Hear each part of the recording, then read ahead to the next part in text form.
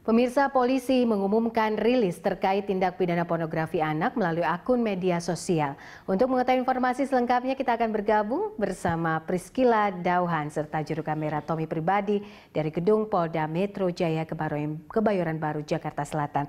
Cila, apa saja poin penting yang disampaikan dalam rilis hari ini? Ya, Popi dan juga pemirsa baru saja berakhir press konferensi pers mengenai tindak pidana pornografi anak melalui akun media sosial. Dan tadi dihadiri juga oleh sejumlah elemen selain dari polisi tentu saja, yakni dari Kementerian uh, Komunikasi dan Informasi dan juga ada dari Kementerian Pemberdayaan Perempuan dan Perlindungan Anak, juga ada pemerhati anak serta dari Komisi Perlindungan Anak Indonesia atau KPAI. Dan dalam uh, konferensi pers tadi memang menyampaikan beberapa hal di mana polisi baru saja mengumumkan tiga orang tersangka yang memperjualbelikan video anak yang berhubungan seksual sesama jenis dan yang dapat didownload dan juga disebarkan melalui media sosial. Dan memang tiga tersangka tersebut uh, juga diamankan dari beberapa daerah yang berbeda yakni dari mulai Bogor, Purworejo dan juga Garut.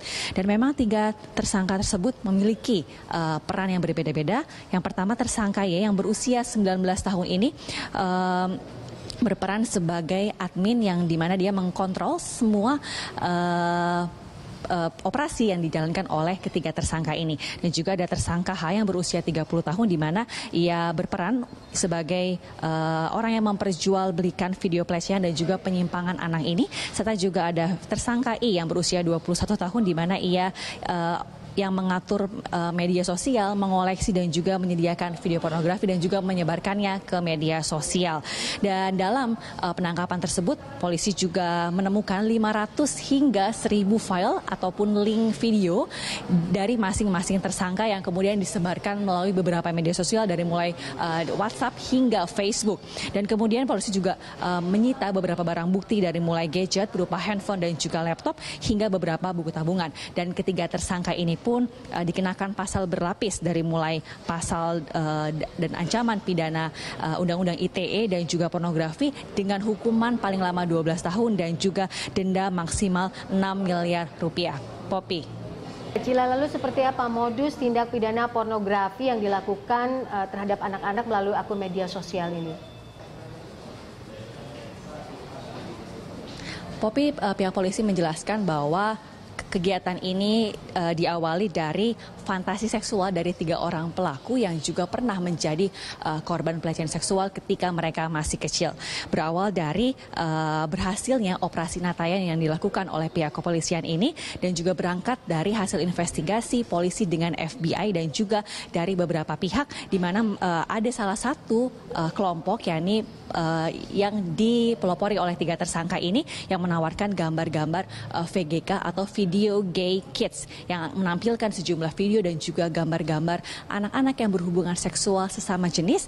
Dan memang ini pun uh, langsung dilakukan pengejaran di tiga daerah seperti yang saya katakan tadi yakni dari Purworejo, Garut dan juga Bogor. Modusnya memang transaksi ini uh, melakukan uh, ketiga pelaku ini melakukan uh, transaksi uh, jual beli dengan para uh, pelanggannya melalui aplikasi Twitter.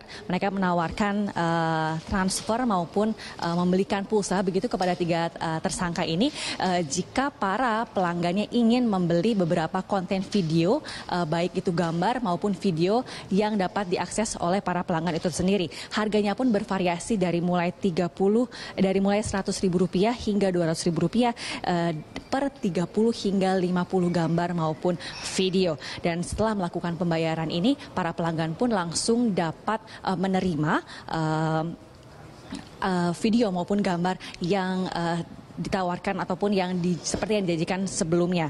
Dan memang masing-masing pelaku ini memiliki uh, followers begitu di akun Twitter mereka lebih dari seribu orang, di mana setiap uh, video ataupun gambar yang mereka jual ini bisa langsung terintegrasi dengan uh, ke seribu followers yang mereka miliki masing-masing. Dan yang menarik lagi uh, Poppy bahwa uh, kegiatan mereka ini juga turut berafiliasi dengan 49 negara lainnya dan juga polisi pun berhasil mengamankan kurang lebih 700 ribu image ataupun gambar ataupun video yang uh, didapat oleh uh, dari uh, operasi tiga tersangka ini. Dan polisi pun juga ber bekerja sama dengan Kementerian PPA dan juga Kemenkominfo ini akan terus berupaya uh, mengembangkan kasus ini dan terus menangkap tersangka-tersangka uh, lainnya tersangka-tersangka lainnya maupun juga untuk mencegah kegiatan-kegiatan uh, serupa.